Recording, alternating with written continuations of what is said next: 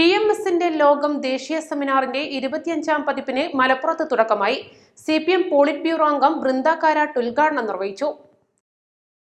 കുത്തകകളെ കൂട്ടുപിടിച്ച് രാജ്യത്തെ ജനാധിപത്യം അട്ടിമറിക്കുന്ന ബി ജെ പി സർക്കാരിനെതിരെ യോജിച്ച പ്രക്ഷോഭം ഉയർത്തിക്കൊണ്ടുവരണമെന്ന് അവർ ആവശ്യപ്പെട്ടു വെറുപ്പിന്റെ രാഷ്ട്രീയം പ്രചരിപ്പിക്കുന്ന ഹിന്ദുത്വ ശക്തികളെ ഒറ്റപ്പെടുത്തണം രാജ്യം ഇപ്പോൾ നേരിടുന്ന ഇത്തരം വെല്ലുവിളികളെ അതിജീവിക്കാൻ ഇ എം എസിന്റെ ആശയങ്ങളും പ്രയോഗവും പുതുരീതിയിൽ പ്രാവർത്തികമാക്കണമെന്നും ബൃന്ദ പറഞ്ഞു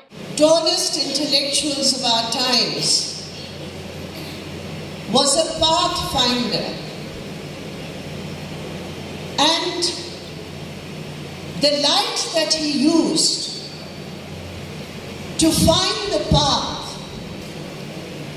was that of Marxism Leninism. He combined in himself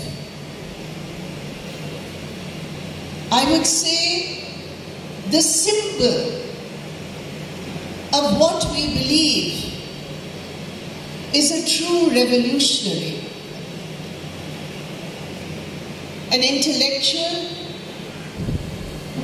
a theoretician of an unparalleled vision of work.